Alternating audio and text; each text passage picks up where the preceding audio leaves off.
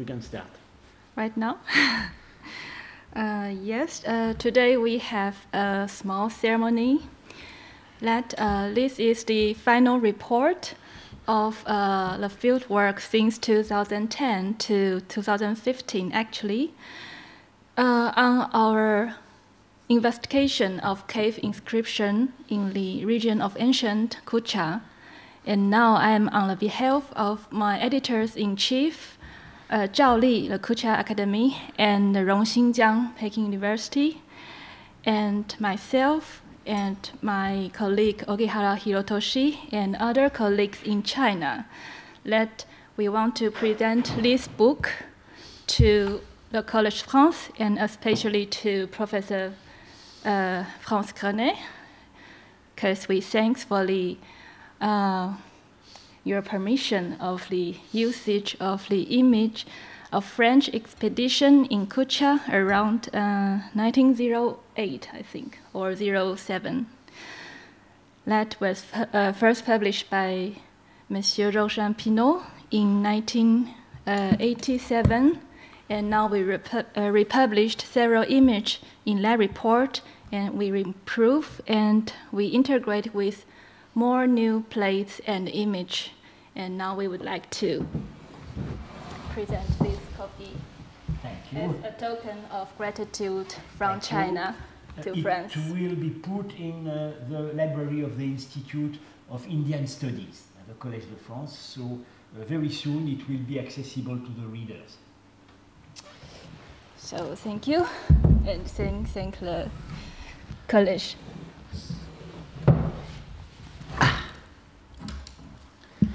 So um, this is the basic information of this book. So if you are interested, you can search the table of content, including Chinese and English one, in the on the site of the Peking University, and this is the authorship, as well as uh, more information about the book.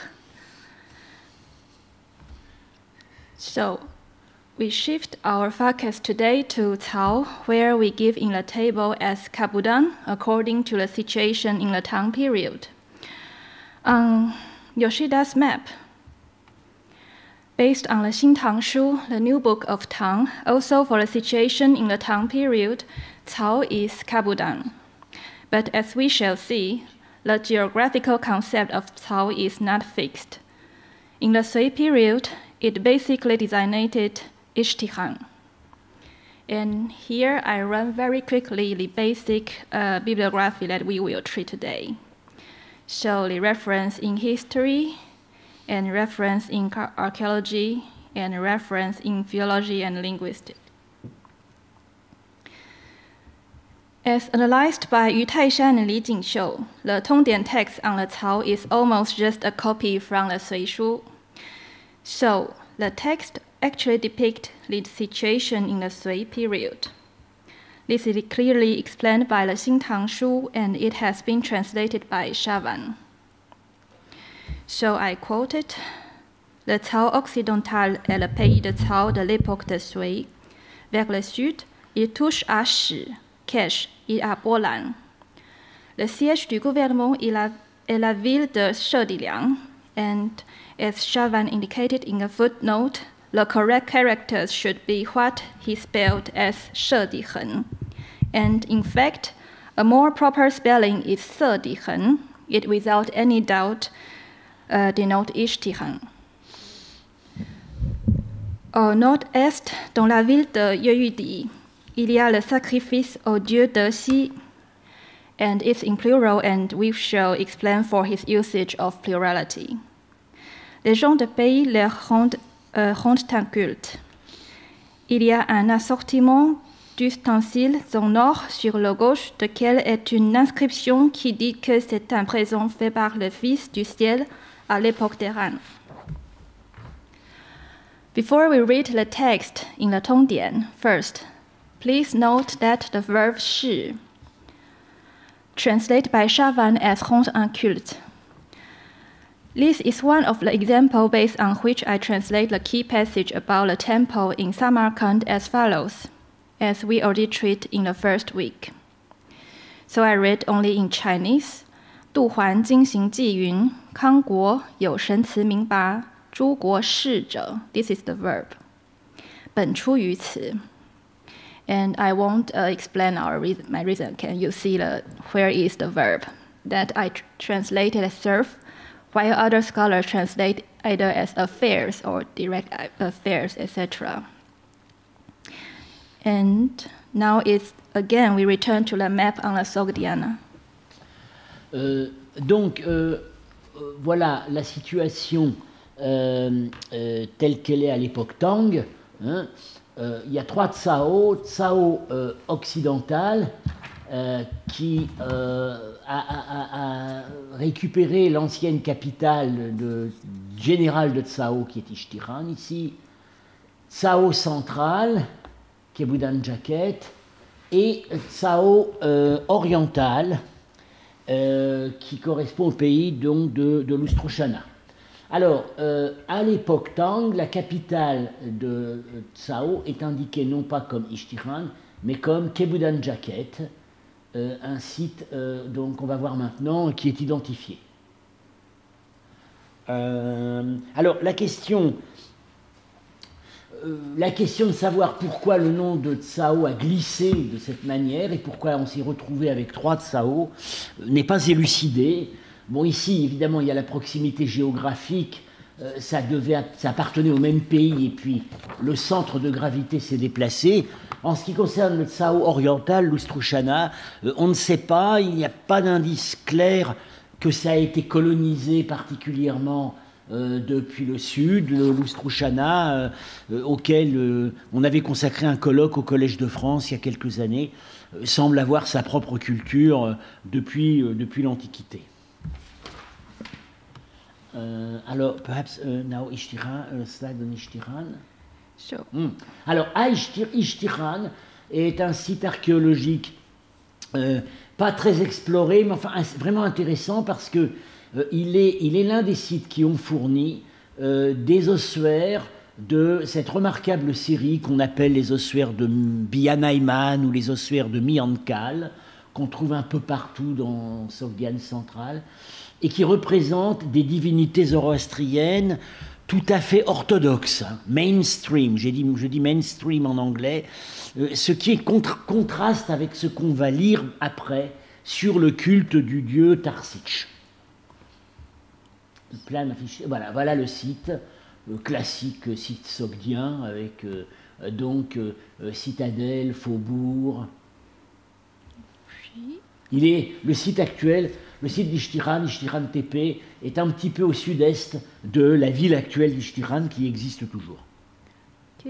Alors, l'exploration archéologique de cette zone est rendue compliquée maintenant parce que c'est une zone, cette zone a été intensivement à l'époque soviétique euh, valorisée par l'irrigation. Euh, donc euh, beaucoup de sites ont disparu. Malgré tout, il reste certainement, il reste un potentiel dans les sites les plus importants. Donc, par exemple, le Chiliac Oui, alors voilà, on a le site très intéressant de Chiliec dont, euh, qui semble euh, avoir été à la limite entre Tsao occidental et Tsao central. Ce serait plutôt Tsao central. Ce site est fameux parce qu'il a fourni un extraordinaire, un, petit trésor, mais d'objets remarquables, des plats d'argent, euh, dont l'un est sassanide, deux autres sont locaux, et celui-ci est un plat bon, euh, l'un des plats porte une inscription en sogdien euh, et euh, c'est un trésor qui avait été dissimulé et on ne sait pas vraiment l'origine de ce trésor. il n'est pas impossible qu'il s'agisse d'un trésor de temple et j'ai même envisagé un moment l'idée que le temple du dieu Tarsich dont on va parler maintenant aurait pu se trouver là mais euh, nous nous orientons maintenant vers une situation plus au sud pour ce temple. Donc euh, euh, voilà, la, question est ouverte. En tout cas, c'est une, il n'y a, eu que des, a eu que des fouilles très limitées sur ce site. ces sites ont vraiment encore un potentiel archéologique. Donc c'est un site plein de Chiliac Ah, oui, alors voilà, ça, c'est...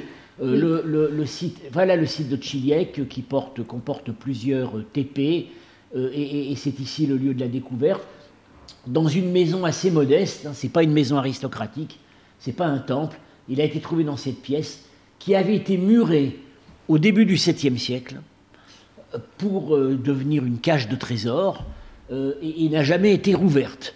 Alors, dans quelles circonstances est-ce que ce trésor a été caché? Nous ne le savons pas. On peut faire certaines hypothèses, mais euh, ce n'est pas le lieu de, s'étendre là-dessus euh, aujourd'hui.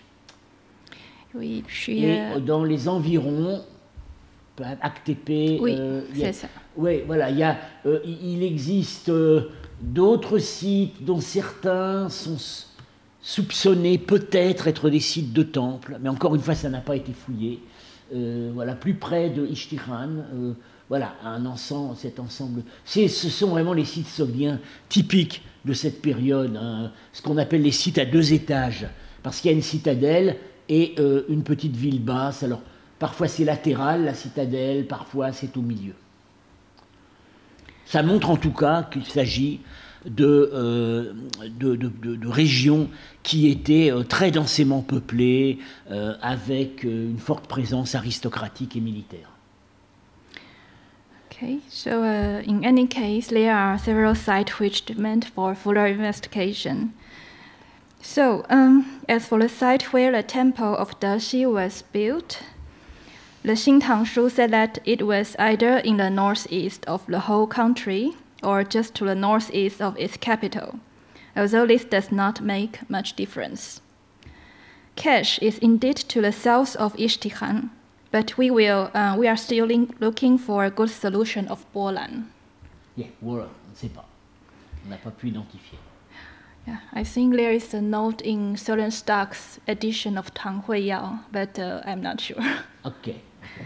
And um, now let's return to the Tongdian. Although Shavan did not translate its entry, he translated the one in the Sui Shu, almost of the same content.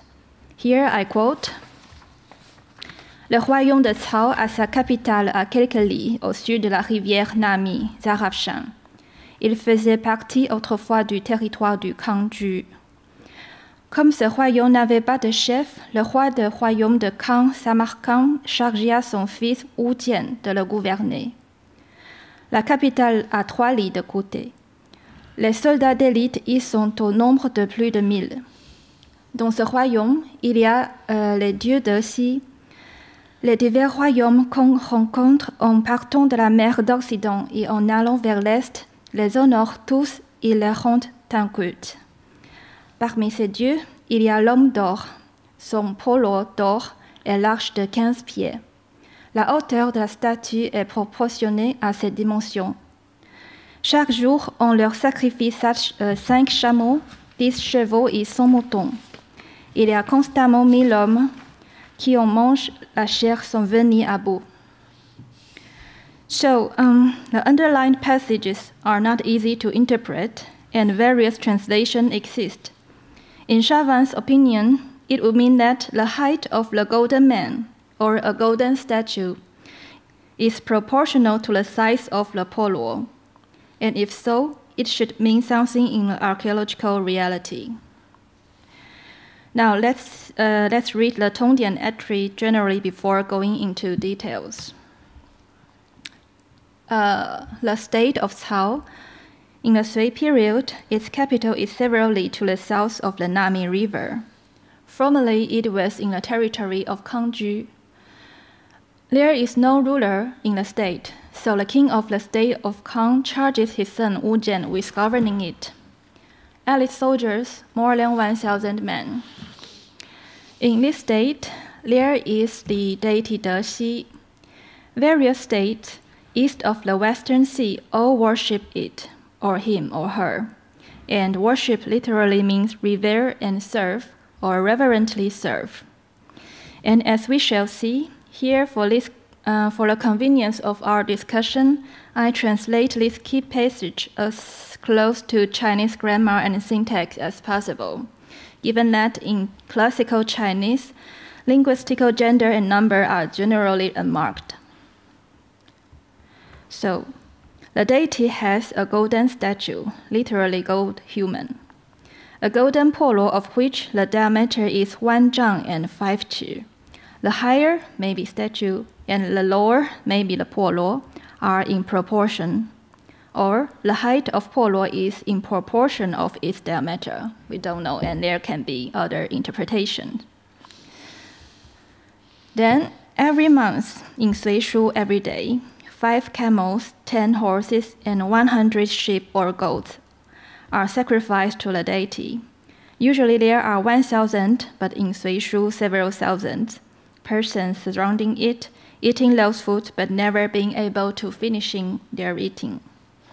Voilà. Alors, bien que ces indications chiffrées soient précises, elles sont quand même difficiles à interpréter.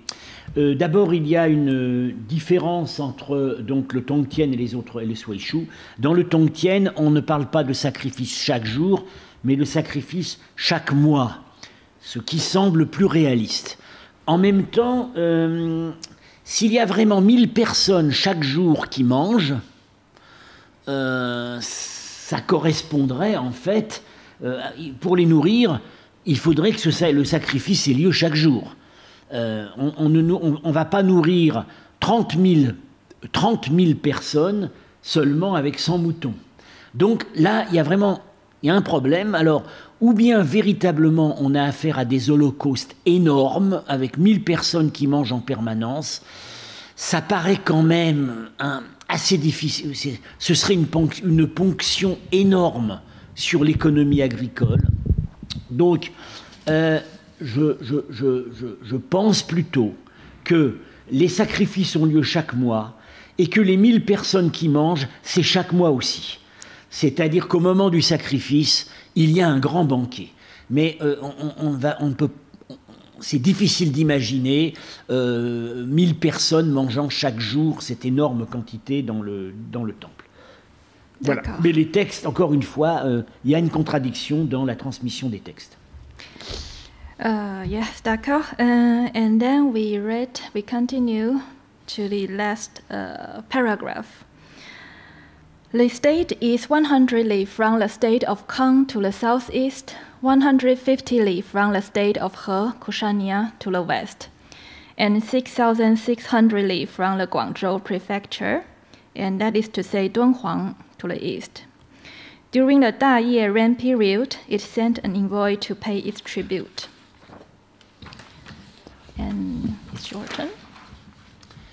Euh, donc on voit bien, quand on examine les distances, on voit très bien que euh, l'état de Tsao euh, dont il est question ici est à, donc à l'est de Kushania et la distance correspond à Ishtiran.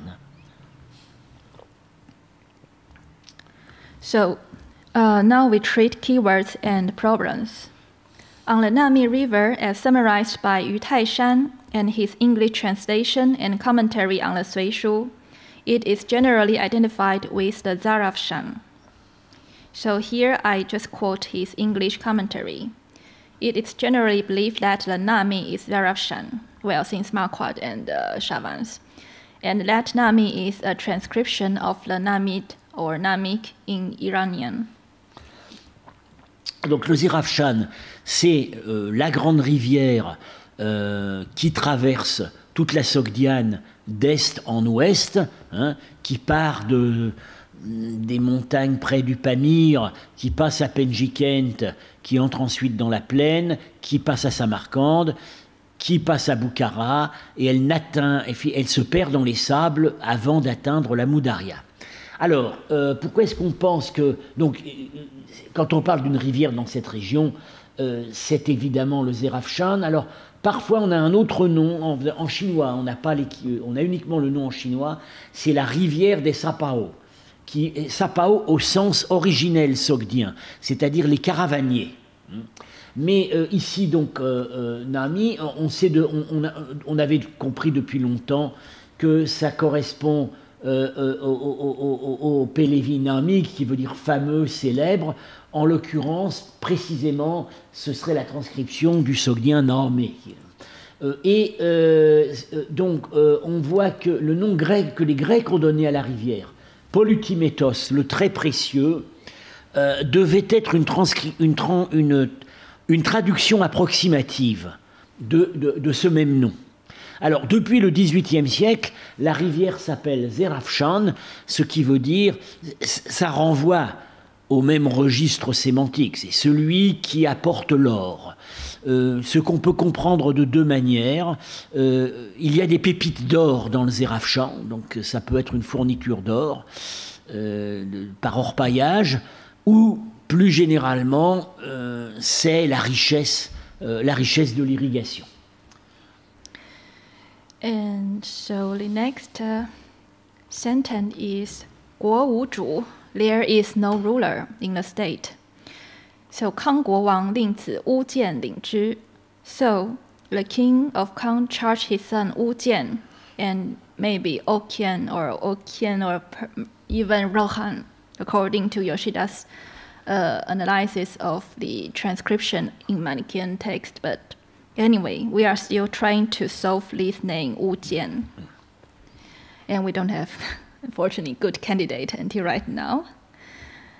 And Alors, il y a un petit commentaire à faire sur le fait que euh, le, le, le, roi, le roi de l'état de Kang, qui est donc Samarcande, à l'époque où euh, renvoie ce texte, c'est-à-dire euh, à l'époque Sui, euh, donc début 7e siècle, euh, le, Le, seigneur de Samarcande n'a pas pris le titre de roi qui est en sogdien Hirshiz.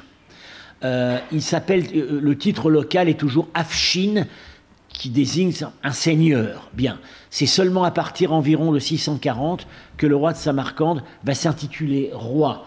Mais bon, euh, les textes, Chinois ne faisaient pas ces distinctions subtiles et dans tous les cas, ils emploient le mot chinois Wang. Okay, so um, One may also consult Yoshida's table that we already treated in a uh, previous seminar. It's noteworthy that Cao is counted as one among the nine countries dependent from Samarkand. Cao is listed just after Maimuk and Kesh, but the ruling family of Ishtihan was extinct according to the Sui Shu, which most probably depict the situation in the first decade of the 7th century, as collected by Pei Ju. So the disappearance of the local ruling family makes the etymology of Cao even more enigmatic. At any rate, it is possible that in the eyes of Chinese in the 7th century, Cao was no more an independent country, but submitted to Samarkand. Alors, il est intéressant de remarquer qu'au début du 7e siècle, Euh, euh, donc euh, capitale euh, à l'époque du Tsao, est administrée depuis Samarcande par le fils du roi de Samarcande. Parce que c'est une situation qu'on va retrouver après la conquête arabe, un siècle et demi, plus d'un siècle plus tard. Alors ça pourrait être ça pourrait être la même situation continuée ou bien qui, est, qui réapparue. En effet, au moment de la, prise de Samarcande par les Arabes en 712, le roi euh, de Samarcande euh, euh, s'est réfugié, s'est exilé à Ishtiran, Samarcande étant occupée par l'armée arabe. Euh, donc Ishtiran faisait partie de ses possessions. Et en 730, il a demandé à l'empereur de Chine de reconnaître son héritier, Tulrar, qui va lui succéder sur le trône de Samarcande, comme roi d'Ishtiran. Donc euh, il semblerait qu'il y a une situation établie depuis plus d'un siècle, euh, euh, selon laquelle Ishtiran est, devenu une vice-royauté du royaume de Samarcande. Alors, autre renseignement intéressant, c'est l'histoire des mille, soldats, mille soldats d'élite. Alors finalement, oui, je crois qu'il semblerait que c'est une traduction tout à fait vraiment correcte pour l'expression chinoise. Euh, on a traduit aussi, je ne sais pas, euh, braves soldats, mais euh, en l'occurrence, c'est les soldats d'élite. Yes, uh, literally victorious soldiers or voilà. good soldiers. Donc, ce serait, on pourrait dire, voir la, garde, la, garde personnelle du souverain ou les soldats d'élite, euh, peut-être ce qui plus tard va être connu sous le nom de Chakar, qui sont aussi des soldats d'élite. Enfin, il y en a mille, bien. Et euh, ça fait, dans et ce, ce même chiffre de 1000, on va le voir tout à l'heure, réapparaît à, propos d'autres principautés. Alors, euh, ça, me, ça me rappelle les hypothèses très, très hasardées hein, que j'avais euh, émises à propos de, du nom de la Sogdiane donné dans un passage du Tongtien, nom qui pourrait être restitué en Tokuzming, ce qui en turc veut dire les 9000. Alors je m'étais demandé si ça ne ça n'évoquait pas le fait que les neuf principautés sogdiennes, qui sont donc euh, euh, qu'on trouve régulièrement, hein, les, les on, sait qu'aujourd'hui que c'est un c'est pas un nom de famille, c'est un titre, Chaomouk, titre d'origine eftalite probablement. Euh, c'est peut-être chacune de ces neuf principautés contribuerait 1000 soldats dans des campagnes menées en commun. Voilà. Euh, et, ce qui pourrait peut-être expliquer, du coup, qu'on euh, appelle la Sogdiane, mais la Sogdiane étendue, puisque en fait parmi les Chaowu, il y a aussi le Khorezm. On l'appelle les 9000. Ce sont les troupes d'élite sur lesquelles la Confédération, ou peut-être le pouvoir nomade qui la dominait, en l'occurrence euh, l'Empire turc euh, occidental, peut-être aussi les Eftalites, pouvaient compter. Alors le problème, c'est que ça suppose évidemment euh, un renseignement comme celui-ci n'a pu être transmis que dans un contexte turcophone. donc ça nous indique ça pourrait remonter à la conquête de la Sogdiane à, partir de 560. Mais euh, on a des raisons de penser que ce renseignement transmis par le Tongtien remonte à des sources antérieures, d'époque Wei. Alors, donc, Étienne de la Vessière, à qui nous avons soumis la question, pense que, euh, comme de toute façon, on ne sait pas, la situation linguistique de l'Empire Eftalite au 5e siècle n'est pas claire, on ne peut pas exclure qu'il y, y ait eu une terminologie militaire d'origine turque. Donc voilà, c'est une hypothèse qu'on peut faire. Et là, on va voir que euh, voilà, euh, d'autres principautés, euh, Kesh a également mis l'homme, He a également mis l'homme. donc ça, ça a l'air d'être un, ça n'a pas l'air d'être le chiffre, c'est un chiffre assez faible pour la population mobilisable. Ça se comprendrait mieux s'il s'agit de troupes d'élite qui contribuent à des campagnes militaires communes. Yeah. Uh, ensuite, oui, alors. Oui, so uh, this uh, number of the soldiers of Maimuk, Kesh, and Kushania are respectively the number given in the Sui Shu. So, um, as for the deity, Franz thinks that the Western Sea means most probably Caspian Sea and Aral Sea in this passage. The two were not distinguished from each other in this context. As to the expression revere and serve or worship, given that reference is made only once and for one temple of Dexi, Fons notes that this passage means very probably like people coming from the west bring offering or pay homage to the temple of the oui, alors là, je vais être amené à revenir là-dessus parce que avec la localisation que nous proposons maintenant pour le temple de Tarsich, euh, ça ferait sens, étant donné que ce temple se situerait sur la route principale qui, menait, qui venait de l'ouest. Euh, mais euh, je, je, vais, je vais commenter ça à nouveau. Oui. So I would say, think syntactically, 知 is a pronoun here. Without mark of gender norm number, there is indeed space for interpretation. And accordingly, let us provide a working hypothesis. The translation may be given as in this state, there is perhaps the temple of the, uh, the deity Deshi. Various deities of the Western Sea all worship it by assuming that one of the original sources of Tongdian and the Sui Shu is also adopted by the Xintang Shu. In other words, the issue is how many temples of this deity exist in the past in the Sogdian proper.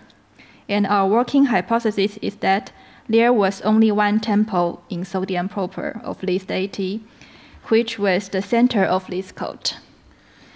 Before treating this issue, let's first read uh, Yu Taishan's commentary on this deity, because it expresses a popular view in China uh, among Chinese scholars. So, De Xi Shen, De Xi goddess. De Xi should be the goddess in charge of the stars and rain in Zoroastrianism.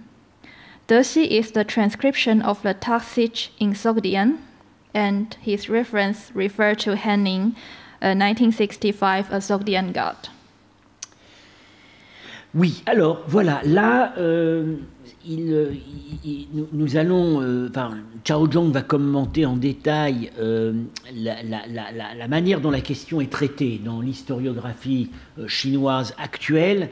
Bien, je dirais qu'il y a eu, il y a eu une, acc une accumulation d'erreurs successives par une série de confusions qui, au, qui ont été en fait reproduites. Et on voit très bien ici euh, bah, le résultat de ce, de, de ce commentaire de, de, ce commentaire de Yu Taishan oui. résulte d'une confusion dont il n'est pas responsable, qui a été introduite avant lui, entre euh, une confusion fondée sur l'analogie des noms, entre Tarsich, cette divinité Tarsich, dont nous savons maintenant qu'elle est féminine, on va revenir là-dessus, et euh, le, nom du dieu des étoiles et de la pluie, Tishtria. Euh, Yutaishan, qui est au courant que Tarsich est féminin, en fait, fait de Tishtria une déesse.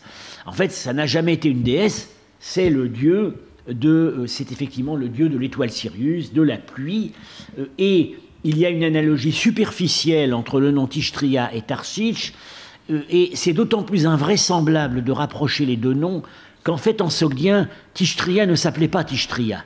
On utilisait une forme abrégée qui était Tish. Voilà. Donc, voilà une image bien identifiée de, du dieu Tishtria, Tish sogdien, sur un ossuaire sogdien. c'est un dieu mâle, hein, euh, en armure, parce qu'il est considéré, il est le dieu de l'étoile Sirius, qui est considéré comme l'étoile qui dirige les armées des étoiles du côté de l'Est, n'est-ce pas? Et euh, il est euh, l'un de ses symboles est une flèche qui représente le scintillement de l'étoile Sirius. Là-dessus, le, texte de l'Avesta est très détaillé. Euh, il tient le symbole de la forte, euh, ou plutôt il protège la chasse. Donc il tient le symbole du faucon. Euh, Peut-être ici, comme il est, il a des oreilles de cheval dans son casque parce que chaque année, il se métamorphose en cheval, on va voir ça tout à l'heure, et il tient un bouclier rond qui pourrait être l'indication de son assimilation astrologique ultérieure à la planète Mercure. Donc on voit qu'il ne s'agit absolument pas d'une divinité féminine. Et ici, il pourrait, je dis bien il pourrait, réapparaître, mais de manière symbolique, sur un des tombeaux donc des Sogdiens de Chine, euh, le tombeau Miho, euh, où on voit euh, un sacrifice offert. Alors, c'est peut-être le sacrifice d'un cheval, ou c'est peut-être une, un sacré, une offrande offerte à un cheval, c'est pas clair ici, euh, et euh, ce sacrifice du cheval euh, pourrait faire penser au culte du fleuve Oxus, parce que euh, nous avons une légende locale qui est transmise par un texte chinois, selon lequel le fleuve près du temple de ce fleuve, un cheval sort de l'eau chaque année. Et euh, ça pourrait, selon une hypothèse que j'ai émise, et euh, également euh, Boris Marchak l'avait émise aussi, euh, indiquer en fait une assimilation entre le dieu, le dieu de l'Oxus, Amoudaria, et Tishtria, qui chaque année se transforme aussi en cheval. Voilà. Donc ici, on aurait effectivement euh, un symbole qui pourrait fonctionner à la fois pour le dieu Oxus et pour Tishtria, mais certainement pas pour Tarsich.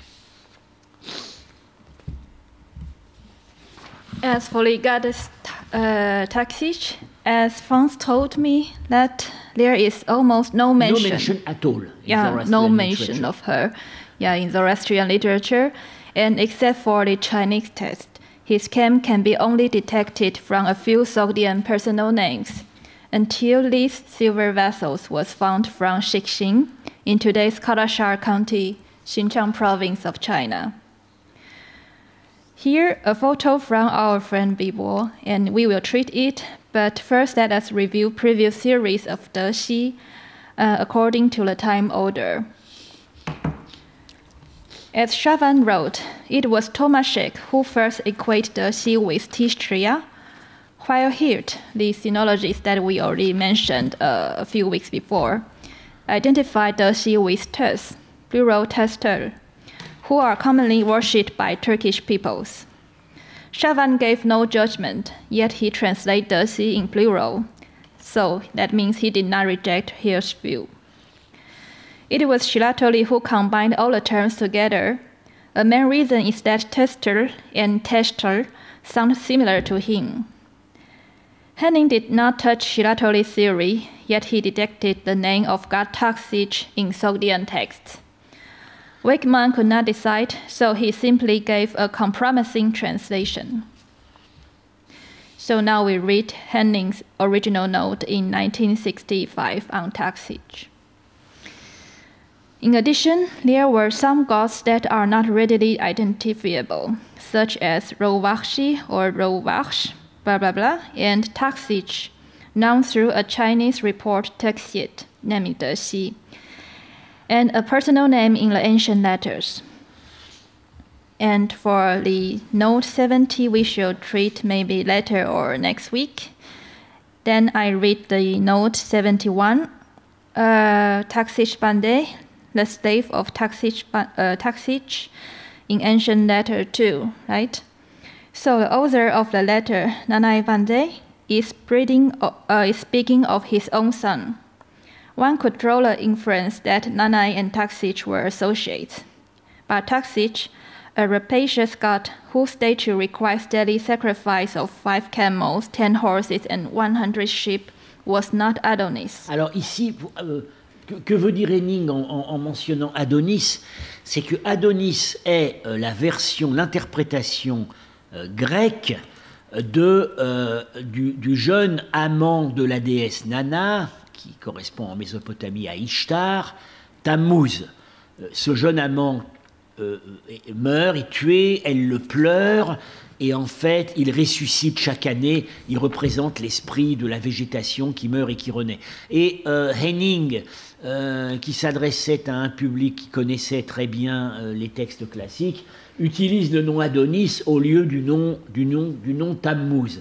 Euh, L'idée que défend Henning ici, c'est que euh, donc un dieu rapace qui demande une énorme quantité de sacrifices, ne serait pas très, ne serait pas un très bon candidat euh, pour euh, un, un- un jeune dieu euh, qui, fait l'objet de, lamentations. Mais bon, on n'est pas obligé non plus de le suivre et pour notre part, nous pensons que euh, est en fait une version féminine du mythe du mythe d'Adonis et Tammuz, mais on va revenir là-dessus. Yes, so I continue the reading.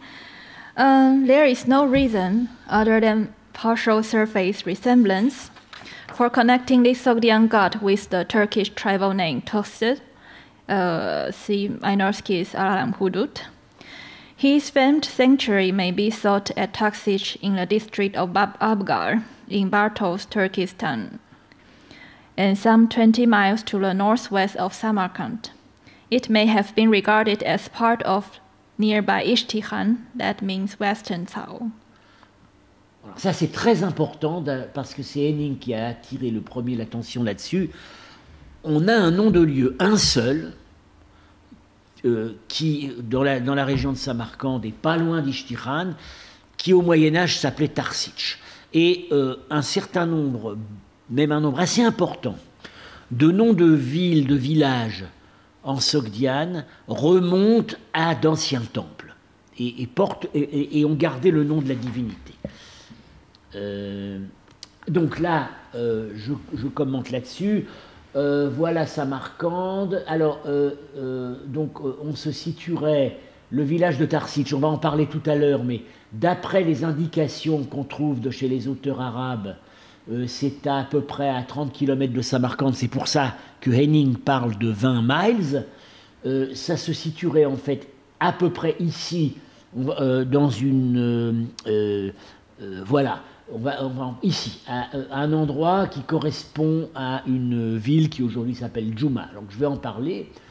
on est en fait Henning parle du nord-ouest de. Oui, de. Il dit que c'est au nord-ouest de Samarcande, oui, c'est plutôt à l'ouest, mais enfin, voilà. c'est effectivement, vous voyez, pas loin d'Ishtiran, donc on pourrait tout à fait imaginer que à l'époque du Swaishu, le royaume, euh, le royaume du, Tsao euh, s'étendait sur la rive gauche du Zirafchan, sur cette zone, hein, et qui n'aurait pas relevé donc euh, du royaume de Samarcande. C'est tout à fait défendable comme idée. Alors, euh, que cherche et la, recherche que les idées que je vous présente ici, c'est vraiment une recherche nouvelle que nous avons faite avec Chao Zhong, puisque avant, bah, disons, on, avait tendance à chercher le temple de Tarsich en prenant littéralement l'indication de direction donnée par euh, le, le, le nord-est d'Ishtiran. Donc on cherchait plutôt par là sur les Piémonts, mais euh, si on s'en tient euh, à la toponymie médiévale, c'est là, c'est au sud qu'il faut chercher le temple de Tarsich, et donc la ville de, de la ville de Yehudi où il se trouve. Malheureusement, le nom de cette ville ne donne rien. En moyen chinois, on n'arrive pas du tout à raccorder ça à quoi que ce soit. Mais donc, l'idée, l'idée qu'on peut euh, défendre, c'est que euh, si on doit chercher quelque chose à 30 km de Samarcande dans cette direction, on tombe sur une ville aujourd'hui qui s'appelle Juma, qui est assez importante, et ce qui, c'est un toponyme relativement récent, et en fait, Juma, ça veut dire vendredi. Et on a plusieurs Juma hein, en Asie centrale. Ça veut dire mosquée du vendredi, ou plus généralement le bazar du vendredi. Euh, bon, ça va ensemble, parce que s'il y a un bazar du vendredi, il y a, aussi une mosquée du vendredi. Euh, et euh, on remarque, voilà, c'est ici, on remarque, voilà, Samarkand, voilà Juma, et donc Ishtiran serait par là à peu près. Bien. Euh, on remarque que euh, euh, ces endroits qui s'appellent Juma correspondent à des lieux de rassemblement, des carrefours, des gros marchés, et ça, peut, ça pourrait tout à fait prolonger une situation ancienne. C'est-à-dire que traditionnellement, eh ben, c'était une grande foire, c'est un endroit où on échangeait les produits, et notamment, notamment les produits euh, de l'élevage qui avaient lieu sur les piémonts. C'est typiquement le, genre de site où euh, les éleveurs auraient, viendraient échanger leurs produits contre des produits de l'agriculture irriguée. Donc c'est un, c'est un, je suppose que si c'est pas à Djouma, c'est pas loin, voilà. Et nous constatons d'après ce plan archéologique que à l'époque qui nous concerne, la zone est euh, très peuplée, n'est-ce pas très, très, euh, Il y a ce grand canal, donc le Dargom, qui alimente Samarcande et qui, dès cette époque, est prolongé jusqu'au jusqu'au Zerafshan, euh, beaucoup de petits sites partout, et, et, par ailleurs, par ailleurs le, un autre argument pour chercher le temple de Tarsich ici, c'est qu'on est sur ce qui s'appelait. Euh, euh tu peux remontrer le plan général Voilà. On est sur ce qui était appelé au Moyen Âge la route royale, c'est-à-dire la route royale entre, entre Boukhara et Samarcande. La route principale passait au sud, c'est d'ailleurs encore le cas de la principale route, et, pas au nord. Et il serait donc logique, du coup on comprendrait assez bien ce qui est dit dans le texte, texte chinois, c'est-à-dire que les royaumes de l'Occident, les royaumes qui sont à l'ouest, rendent un culte à la divinité Tarsitch. Ce qui serait à comprendre, les ambassadeurs et les marchands qui voyagent sur cette route vers Samarcande s'arrêtent dans ce grand temple confédéral et font des offrandes. Donc, euh, alors maintenant, évidemment, ce qui manque, c'est la confirmation archéologique. Euh, la zone ne semble pas très étudiée, euh, mais bon, je vais consulter mes, mes collègues de mes collègues ouzbeks pour savoir si quelque chose a été fait ou quelque chose est prévu. Alors, cette interprétation que nous présentons présente une difficulté, c'est qu'elle oblige à modifier le texte du Singtangshu puisque le Singtansho nous parle du nord-est, et en l'occurrence, on serait au sud-est.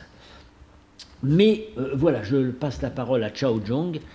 Uh, yes, I just digest uh, Fran's note a bit. So, um, as he just talked, talk, uh, we think Henning's notion on the location of Taksich, based on early Islamic geographers, uh, is very in, uh, intriguing especially about the district of Abgar.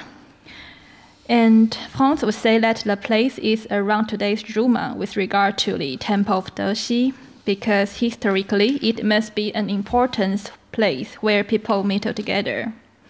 Actually, we discussed a bit on the name Yue Yudi, and its Middle Chinese should sound like Vavate. And of course, uh, I would say Varalis, but it must not be the same place. And we don't have any good candidate. So the name Yue, Yue, Yue Yudi is still an enigma for us. But anyway, the town Yue Yudi and its temple of Taksich were probably there around the Juma or in the vicinity of it. In, uh, because in the early Islamic period, the road on the southern bank of Zarafshan was considered to be the royal road between Bukhara and Samarkand. Therefore, envoys and merchants coming from the west would have visited this confederal temple. And in fact, Batold uh, provide an itinerary right from Samarkand to uh, where Zarman, and then he mentioned a town called Taxi. Exactly. Yes. Which which uh, whose, whose location would correspond to present day Juma. Yes. So if this is the case, France would amend the Chinese text in the Xintang Shu from the northeast to the southeast of Ishtihan.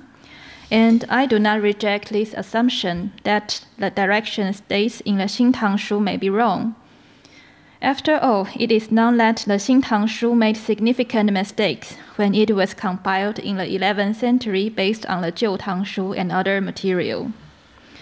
Another possibility is that the Xintang Shu may have lost some passage or details when its editors compiled and rephrased earlier sources. And here we just mark the possible range of Juma on this uh, map. And in fact, Ishtihan is far more north to, to out of Northwest. this. Ah. So, uh, then again on the lamentation scene we have mentioned in the first week. Yes. Euh, alors j'anticipe sur euh, ce qu'on va dire maintenant, mais euh, disons que si on cherche une image de Tarsitch, maintenant que nous savons que c'est une divinité féminine, il y a un candidat, il y a un bon candidat, c'est ici, cette jeune fille qui repose dans un catafalque et qui fait l'objet de lamentations euh, sur une peinture du VIe siècle dans le temple 2 de Penjikent. Alors, euh, la raison pour laquelle euh, je recherche maintenant ici Tarsitch, c'est une idée également que, que nous avions émise en commun avec Boris Marchak, c'est que euh, Tarsitch, euh, on en a parlé dans, les noms de personnes, semble associé à deux déesses, une qui est Nana et l'autre qui est Gemat, ce qui est la forme sogdienne de Déméter. Et, voilà. Et donc ici, on, les voit toutes les, on les voit ensemble. Nana avec ses quatre bras qui se lamente, avec ses cheveux épars, n'est-ce pas? Alors ici, ce sont des, pleureurs professionnels qui se coupent l'oreille, qui se, euh, se frappent le front. Bien. C'est c'est pas du tout zoroastrien comme euh, ambiance cultuelle. C'est vraiment un culte à lamentation d'origine mésopotamienne.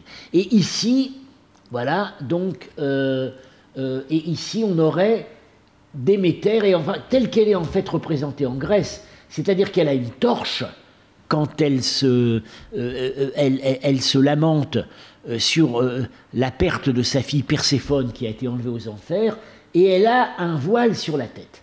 Et voilà ce que donc cette hypothèse sur Tarsitch féminine, en fait Marchak n'avait pas fait l'hypothèse sur n'avait pas identifié cette jeune fille à Tarsitch, puisqu'à l'époque nous pensions tous que Tarsitch était masculin.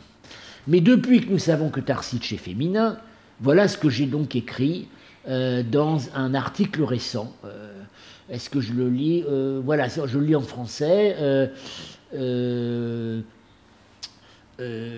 maintenant que nous savons, grâce à une inscription sur un vase d'argent de Karachar déchiffré par Sims Williams, que Tarsitch, une, divinité sogdienne, souvent associée avec Nana dans des noms théophorique était une divinité féminine, euh, puisque le nom a une fin féminine, euh, avec des prêtresses héréditaires, euh, gardiennes de son trône, etc.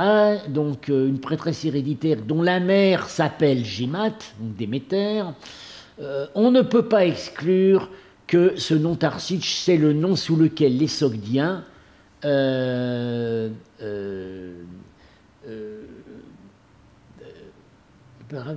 oui, voilà, euh, sous le nom desquels les Sogdiens connaissaient cette euh, divinité, cette jeune divinité sur laquelle on se lamente. Donc ce ne serait pas Tammuz qui est masculin, ce serait une combinaison de, de, Perséphone, la fille de Déméter, et de la sœur de Tammuz, Geshtinanna, qui en fait le remplace pendant l'hiver. Donc on aurait effectivement des candidates euh, comme prototype mésopotamien et grec de Tarsitch qui, en sogdien, auraient pris le nom Tarsitch et qu'on retrouverait ici.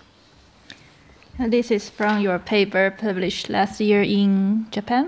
Euh, oui, oui, oui euh, au Japon, c'est à propos d'un un article que j'ai publié sur les les panneaux de bois euh, sculptés de euh, Kafir Kala près de Samarkand. Je crois que c'est pas encore sur mon site Academia, mais ça va bientôt y être, donc ce sera disponible pour tout le monde.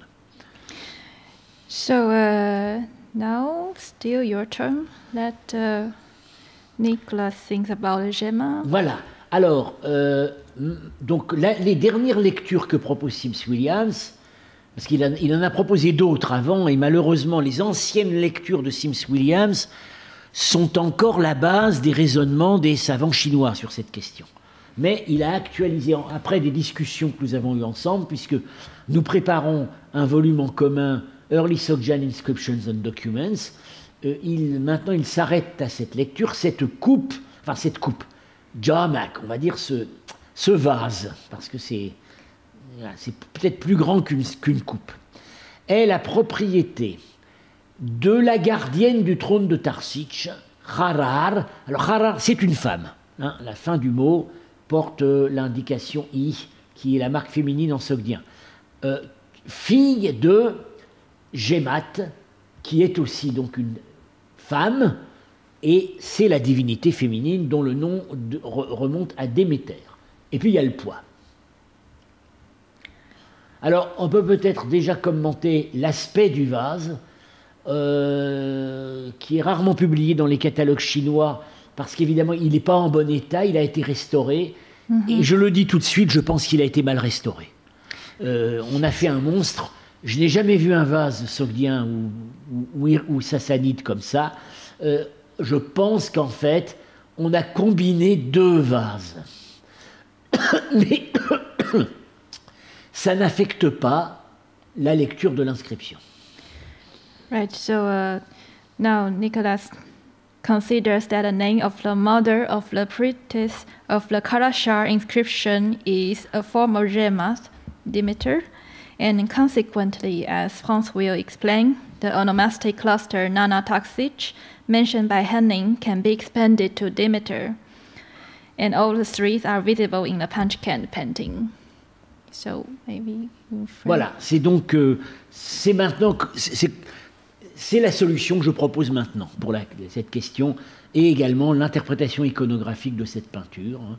Les deux déesses euh, qui, euh, ben, Nana qui, en contexte, disons, mésopotamien, se lamente sur son amant Tammuz, mais aussi sur la sœur de Tammuz, Geshtinana, Déméter qui se lamente sur sa fille Perséphone, euh, enlevée aux enfers, et euh, on aurait donc ici une déesse qui serait la combinaison de- de- de- des deux, n'est-ce pas?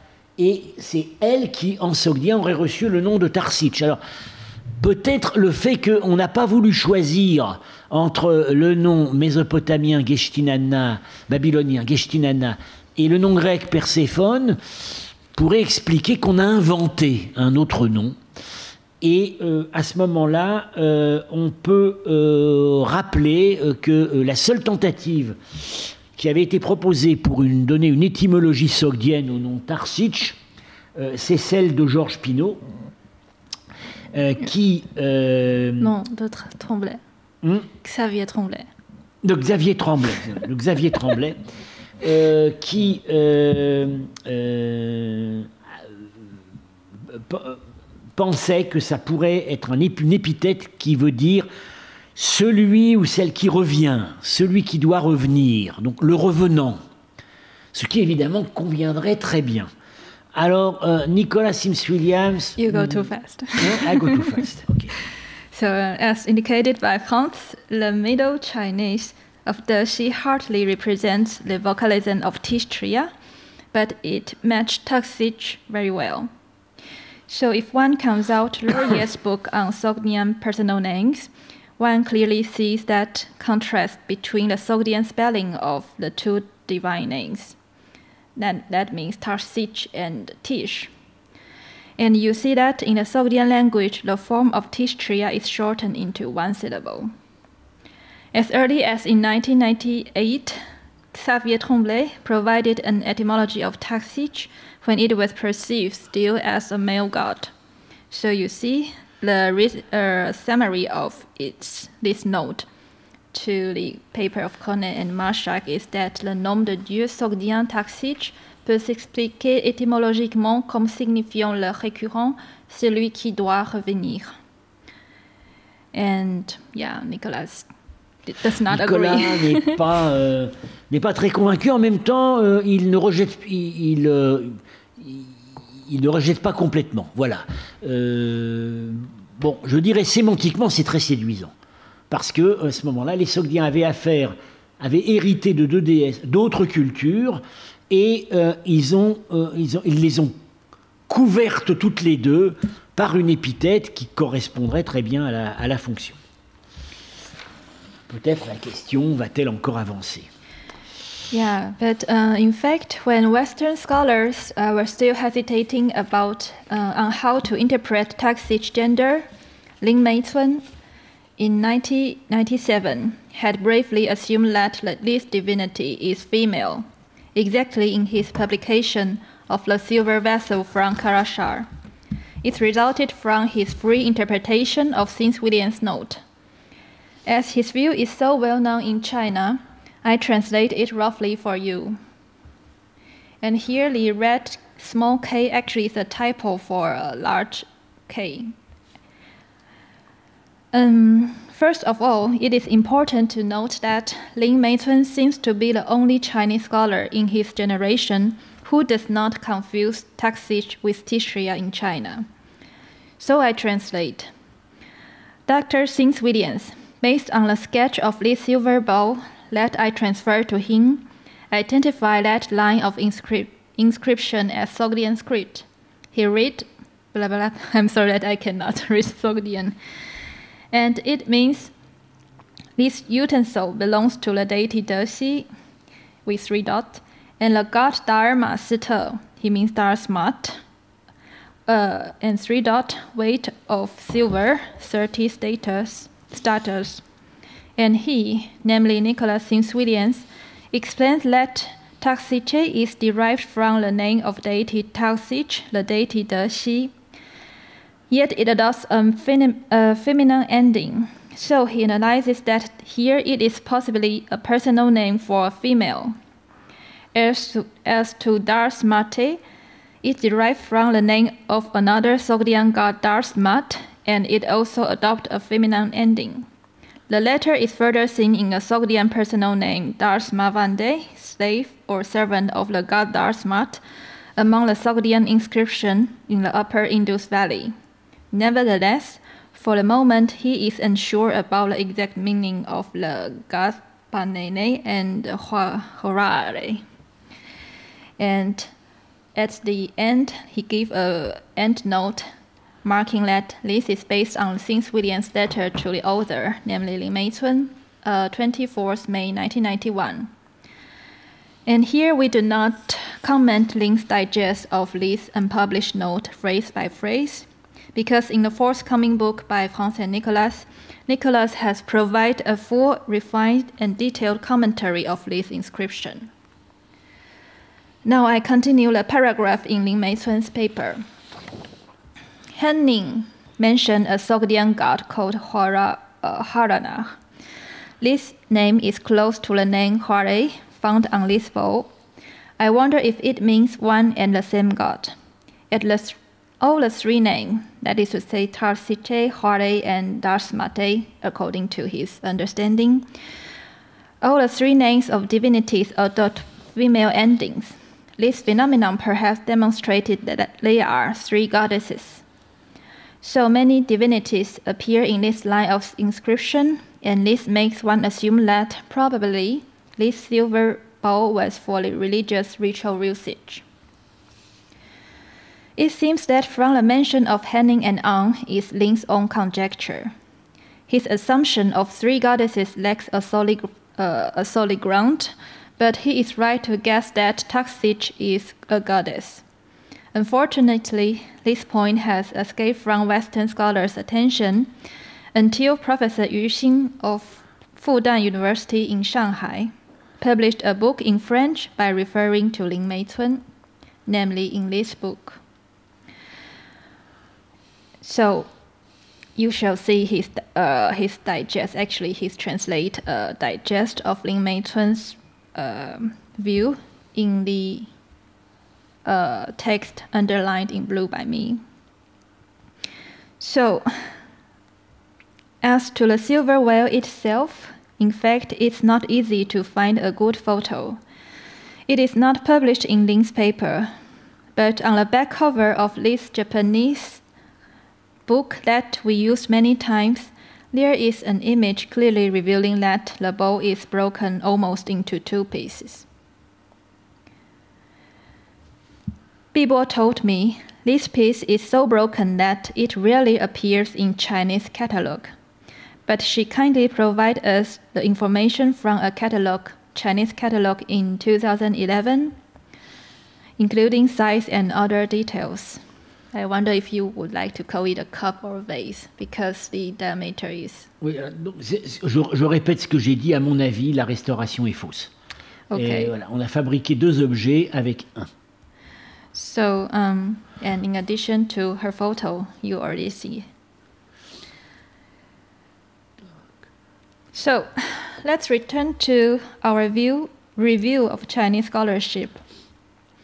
Almost simultaneously in 1998, Cai Hongsheng, a professor in Guangzhou in South China, published his bestseller. Its title may be translated as The Nine Surname of Hu Peoples and Turkic Cultures in the Tang Period. There he criti- uh, criticized Shiratori. He did not agree to identify Tuster with Desi because, to his knowledge, Tuster are gods of fire or hills, and cannot be equated with Teshtar, god of rain and water. This is an important progress. Moreover, he immediately asserts Ling's opinion to perceive Taxich as a goddess. However, he makes St. William's and Ling's opinion, and in addition, Tsai confused Taxich with Tishtria to the extent that he states that Tishtria is a goddess. Here is my rough translation of a key passage in his book. Henning evidently indicated that the Taxich in Sogdiana proper is namely the, de, uh, the deity Dexi in Tang literature. This deity is very probably the deity of rain, water, and stars in Zoroastrianism. Recently, a silver bowl was unearthed from Shixin on the ring of which Sogdian script is inscribed. After St. William's decipherment, it contains a sentence this utensil belongs to the deity De Xi, and it is indicated that the deity's name contains a female ending, which proves that the deity is female. The cult of goddesses was popular in Sogdian city states, and here one more piece of evidence can be provided. Tsai's view is adopted widely. I just select a few representative ones derived from it. For example, Rong Xinjiang's uh, passage in his paper and then collected in a collection of essay in 2014 that the rain god is also called the water god. It is namely the Dexi god in Chinese sources. And um, moreover, the Xu Shuyas made more uh, development on Cai Hongsheng's point. And also, one more phrase in Zhang Boqing's bestseller on the Zoroastrian in China that Tishtar is namely Dexi, who was worshipped with wine, grape wine, in Central Asia. Our intention is definitely not to pick on these statements. We hope that through a close reading of Chinese papers, we can find more innovative ideas among Chinese scholars and communicate with them. And in the meantime, we can realize some blind point among Western papers. Accordingly, French readers will see such a confusion in Yu, Xin's book with regard to this panel. Right? You see the caption of figure, figure 3. Voilà. Euh, voilà, c'est là où ça va pas, c'est que euh, il, euh, euh, voilà, euh, c'est bien, c'est probablement le symbole de Tishtria, mais Yusin continue à répéter la confusion entre Tishtria et Tarsich. Yes. Caption. Erreur donc à laquelle le seul qui a échappé est Lin Meisum. I think so, right. So uh, actually, this uh, description on the figure 3, this panel in Miho, is actually based on the view of Rong Xinjiang. And in fact, France treated this panel again very recently. That means uh, in the collège annuaire uh, 2017 à 2018. Euh, c'est l'annuaire du collège de mes cours en 2017-2018, quand j'avais donc euh, consacré mon cours au Sogdien en Chine et notamment euh, à, l'art funéraire hein, et les tombeaux sogdiens. J'écrivais donc à propos de ce panneau du, du tombeau Miho, le cheval sans cavalier sous le parasol thème déjà présent, y compris dans les tombeaux purement chinois, parce que c'est un thème qui. Euh, l'image du cheval sans cavalier existe dans les tombeaux chinois et d'origine bouddhique, mais dans ces tombeaux sogdiens, elle est réinterprétée. Hein. Euh, alors, il est ici adoré et surmonte des poissons. Eh oui, voilà, détail important. C'est évidemment lié à un fleuve. Ce pourrait être le cheval du dieu Tishtria, lui-même associé à l'Oxus. Je n'insiste pas, on a des indices d'une association entre Tishtria et l'Oxus, peut-être en rappel de voyage où le défunt aurait franchi ce fleuve. Et donc c'est reproduit, le panneau est reproduit dans le livre de Yusin, mais avec à nouveau l'erreur récurrente qui euh, confond donc Tarsich et euh. Right. Alors là, je dois voilà. Euh, bon, il y a quand même un problème, il y a un gros problème, c'est que si vraiment le temple de Tarsich avait cette importance et une un rayonnement dans les pays jusque à la mer occidentale, là, on peut penser peut-être aussi à une certaine exagération des sources chinoises. Euh, c'est une façon, c'est une façon de dire loin à l'ouest, à mon avis. Ça ne veut pas forcément dire que au et, euh, dans, euh, et, dans au Khorasan on vénérait, on vénérait Tarsich. Ça indique que des voyageurs qui viennent loin de l'ouest viennent euh, rendre leur respect à ce temple. Alors, le problème, c'est que euh, on n'a pas de mention donc de ce dieu dans la littérature euh, sogdienne du tout. On ne le trouve que dans les noms de personnes, et que par ailleurs on a une seule image qu'on peut supposer en rapport avec lui, c'est celle que j'ai montrée à Penjiken. Donc là, il y a quand même, il y a quand même un problème. Euh, bon, je, euh, les temples de Tarsiche ne devaient pas être nombreux. Jusqu'à preuve du contraire, je pense qu'en Sogdiane, il y en a un seul, c'est celui qui est mentionné euh, par les sources chinoises et dont le nom survit aujourd'hui, enfin a survécu au Moyen Âge dans le village Tarsich. Alors, on sait maintenant, grâce à l'inscription de Karachar, qu'il y avait au moins un autre temple de Tarsich. C'est à Karachar, mais très loin, très loin. Euh, on peut même peut-être faire l'hypothèse que euh, les Sogdiens de Karachar venaient originellement euh, soit du pays de Kang, soit du pays de Tsao. Bien. mais la, rareté, la rareté de, des images, de la quasi-absence des images de Tarsich dans le panthéon illustré sogdien est problématique. Alors, je, supposerais peut-être qu'il y avait une sorte de tabou. Comme c'est une déesse qui est visiblement liée euh, au monde souterrain, à la mort, euh, il se pourrait peut-être qu'on euh, qu'elle n'ait pas eu une imagerie très, très répandue, très populaire on sait qu'il y avait une statue dans son temple. Euh, bon, il n'est pas non plus dit que cette statue la représentait elle.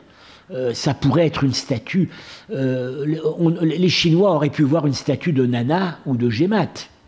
C'est pas forcément une statue qui représente. Il n'est pas dit véritablement, très précisément, que c'est Arsich qui est, l'objet de la statue. Bon, mais même, c'est tout à fait imaginable. Mais en tout cas, euh, on ne le retrouve pas ailleurs. Euh, peut-être y avait-il un tabou. Yeah, so uh, actually, we admit the theoretical difficulty that if Dersi was a deity widely worshipped as far as to the Caspian Sea and Aral Sea, why we have so little uh, textual evidence in Zoroastrian literature, I mean.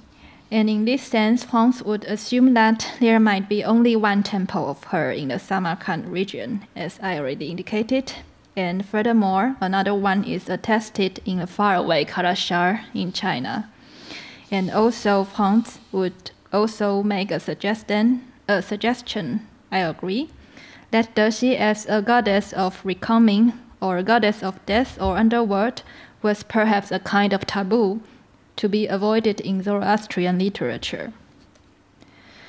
In fact, Yu Xing, just after quoting Lin Meitun, provide a French translation on the state of Cao in the Sui Shu. Here I just read the key passage in yellow. On y vénère la déesse de Tarsich, comme dans tous les pays situés à l'est de la mer de l'Ouest. Il existe des statuettes en or de ces déesses et des polos en or hauts d'un pied et cinq pouces et tous aussi larges. As Professor Yuxing kindly wrote back to us a few weeks ago, there is a translation mistake here. The size is, of course, 15 pieds as given by Chavannes. Except for this and the respective wording of statute, his translation is workable. So let's analyze the original passage, which is ambiguous. I think there are at least two alternative translations, but at any rate, one zhang and five chi is around four meters, so the golden polo must be huge. The value is variable, but given that an essential definition of chi is the length of ulna, this bone, so it won't change too much. In fact, our translation is close to Shavan's. On the other hand, Wakeman is strange. He took quo, literally wide and width, and which I translate as diameter, as a part of foreign terms polo quo, by conceiving it the name of statue. But polo definitely means a vessel. In my opinion, polo most probably transcribed an Indian loanword in an Iranian and or Central Asian language. It ultimately came from Sanskrit patra, which was typically transcribed in classical Chinese as po, amsbal in Buddhist text. Polo is probably another transcription in non-Buddhist context. Uh, then, or next Friday, I shall explain how I made this deduction. And in fact, after a long discussion together with Nicholas Sims-Williams, Anka Dan, Samha Zanush, and Ogihara Hirotoshi, now our concept on the relation among Chinese polo, Iranian paigal, and Greek piale are like this diagram. Uh, we shall return to this slide a bit later or next week. And I think... Ce qu'on voit, c'est que ces termes qui parfois ont été considérés comme empruntés l'un à l'autre forment en fait trois familles complètement distinctes. Hein. Euh, on a donc dans l'hypothèse euh, maintenant euh, que nous retenons, Polo vient ultimement de sanskrit patra par le Gandhari, bien. Par ailleurs, il y a le mot bien attesté en sogdien, paigol, qui est inscrit sur des vases, on va en parler la prochaine fois, mais qui a une autre étymologie. Et enfin, on avait pensé que paigol et aussi polo d'ailleurs, pouvait refléter le grec fialet, mais maintenant, ces deux hypothèses doivent être abandonnées parce qu'on sait que fialet existe en mycénien. Donc, ça n'est pas possible que euh, le mot ait été emprunté euh, par le grec à l'iranien et l'emprunt en sens inverse pour des raisons phonétiques n'est pas possible non plus. Yes. So, again. your idea Ah oui, alors, euh, on, verra la prochaine fois que le terme, le terme païgol bien attesté est, toujours associé à une petite coupe ronde sans pied. Et on a un autre terme en iranien euh, qui, à mon avis, serait plutôt ce que les Chinois auraient traduit par polo, qui est Yamag, qui désigne des vases généralement à pied, et euh, de taille variée, mais qui peuvent être très grands. Hein. Alors voilà, euh, typiquement, quelque chose qui a pu ressembler au polo de, du temple de Tarsitch. C'est un vase en bronze qui est, qui est dans la mosquée de Herat. Il fait 1,50 m de large. Alors ça fait pas, c'est pas 4 mètres, mais enfin c'est déjà monumental.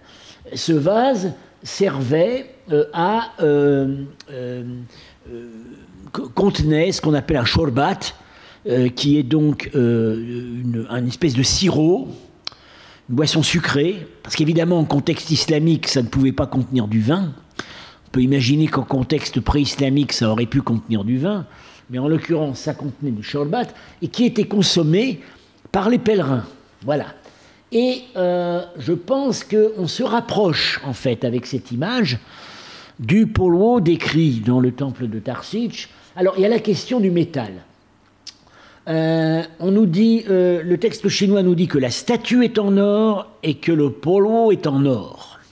Bien, 4 mètres de haut, ça fait quand même beaucoup d'or.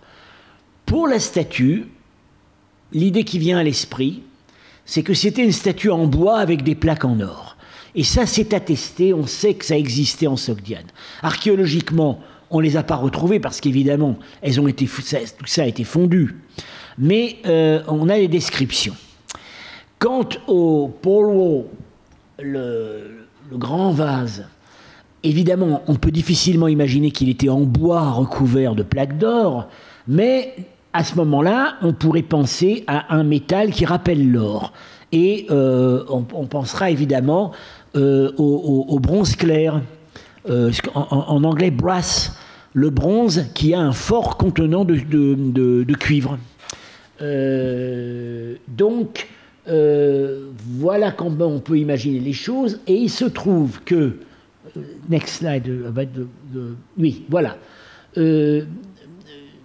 il se trouve qu'on a, euh, j'ai recherché un peu les, contextes avec l'aide de Samra Zarnouch, les contextes d'utilisation du, mot persan, euh, jam, yamak en sogdien, et c'est le nom qui désigne le vase de Karachar. Hein.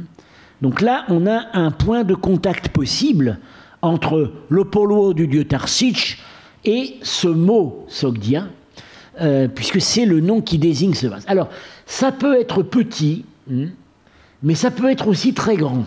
Hein. Euh, et on trouve dans un texte zoroastrien fameux ce passage Chaque jour, il donne aux pauvres un jamag en fer de la hauteur d'un cheval, plein de pain, de lait et d'autres nourritures. Et ça rappelle exactement ce qui est décrit dans le temple de Tarsich avec ces, ces mille personnes qui, chaque jour, à mon avis plutôt chaque mois, euh, n'arrêtent pas, pas de manger. Hein. Euh, alors, on leur sert la viande des animaux sacrifiés et également une boisson réconfortante. Euh, et la, description qui est faite dans ce texte de cette espèce de soupe avec du pain, du lait, etc., c'est exactement, ça correspond exactement euh, à euh, des descriptions qu'on a dans des récits de voyageurs.